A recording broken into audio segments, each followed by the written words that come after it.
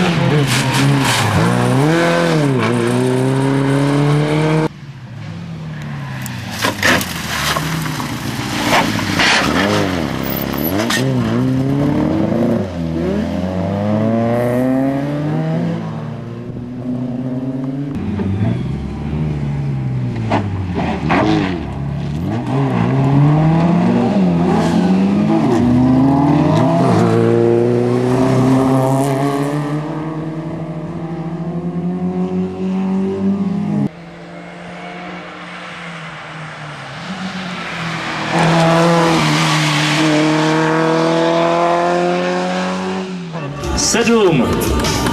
Takže jako každým rokem velký souboj otce a syna. A jak to rozpůsobí?